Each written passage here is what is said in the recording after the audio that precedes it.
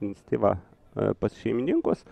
Tiesa, labai pavojingų situacijų nebuvo. Dabar štai. Ir įvartis. Ne! Ojojoj! Ojojoj! Na, kaip dabar neįmušė iš tokios situacijos.